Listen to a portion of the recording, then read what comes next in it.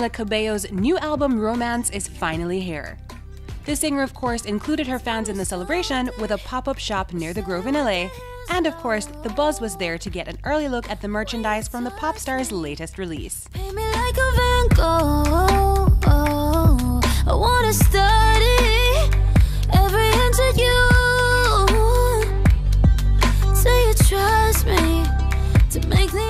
The new album has some pretty big fans, with Taylor Swift giving Camila a big shout out, and of course her BF Shawn Mendes sharing a screenshot of him streaming romance on Spotify.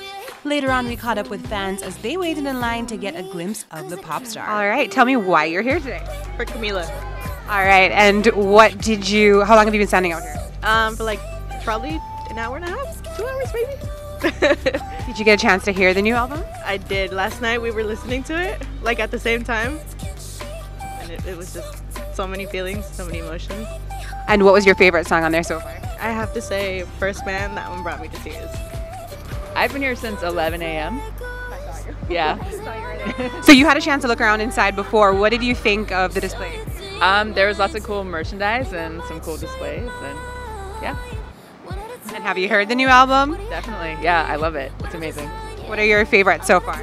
Um, probably should have said it and easy. I'm here. I'm on vacation. I'm from Cincinnati, Ohio. Just you know, see you in Fairfax. So are you waiting for Camila Cabello today? So I am.